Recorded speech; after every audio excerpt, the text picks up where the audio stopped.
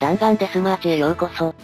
今回は、尖閣を舞台に激しい攻防を続けている、日中の巡視船について比較していきます。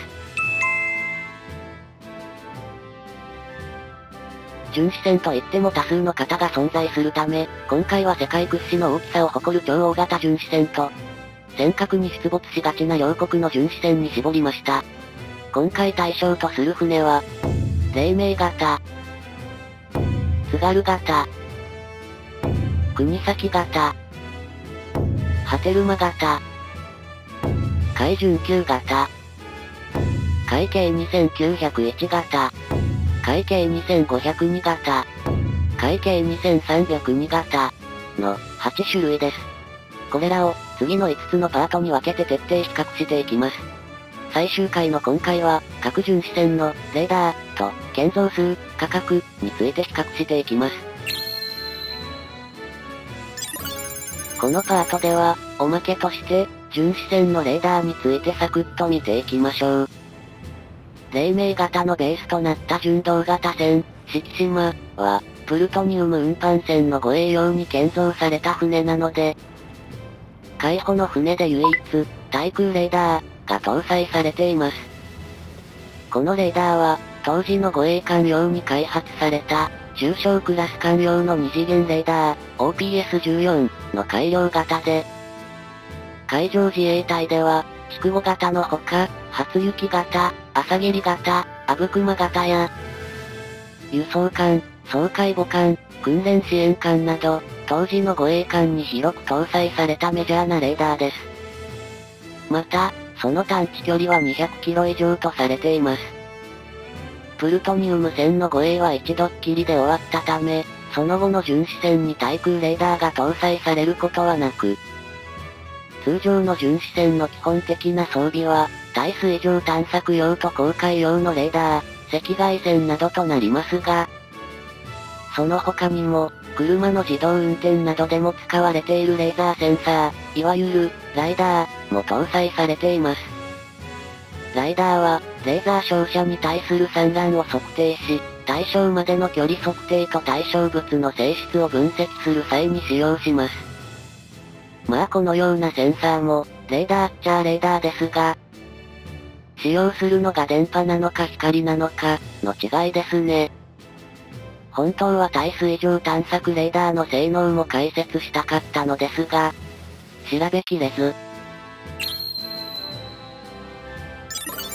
このパートでは各巡視船の建造数と、その費用について見ていきましょう。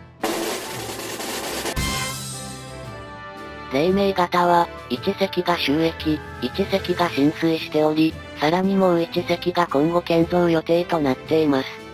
また、黎明型のベースとなった純動型船、四季島型は2隻存在するので、海保では超大型船を4隻保有していることになります。これらの船は、尖閣専属部隊には入っていないものの、状況に応じて配備され、洋上拠点や、東シナ海の広域哨戒にも使用されます。ネームシップの津軽は1978年に収益した船で、かなり老朽化しているため、順次延命機能向上工事が進められており、あと10年は現役バリバリで活躍してくれるものと思います。この津軽型は、2隻が尖閣戦銃部隊に割り当てられています。国崎型は、同クラスの旧型巡視船の大量退役に伴い、一挙28隻が建造されました。第1話でも述べましたが、この国先型は、3番線から12番線の10隻もの船を、わずか1年半で収益させるなど、日本造船業界の本気が伺えました。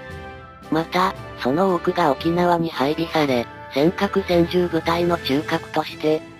領海警備や日本漁船の警護を担っています。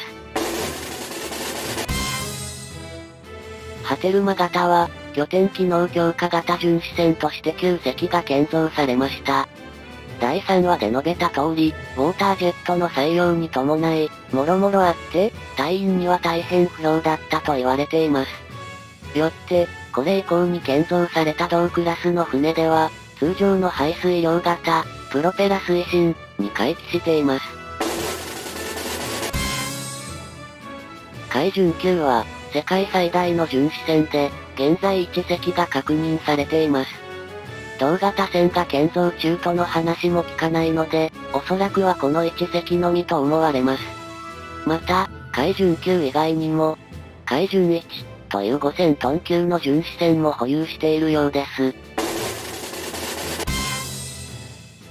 世界最大の武装巡視船、海警2901型は、海警2901、海警3901の2隻が建造されています。5000トン級の海警2502、1501型は4隻建造され、そのうち2隻が、尖閣を守備範囲とする海警局東海分局に所属しており、尖閣に頻繁に出現するお得意様です。3000トン級の海警2302、1301型は12隻建造され、そのうち3隻が東海分局に所属しています。次に建造費用について見ていきましょう。黎明型、約260億円。津軽型は、古すぎて確定情報が見つからず、値段は不明でした。津軽型は、建造が1978年と古い設計なので、最近の船との単純比較はできませんが、排水量が約半分の国先型が57億円なので、その倍、とは言わないまでも、1.5倍くらいはするのかな。ちなみに、津軽型の延命、近代化改修工事には、約30億円かかっており、それでも心臓するよりは安い、という判断だと思うので、元の値段もそれなりにするのでは、と根拠のない推測です。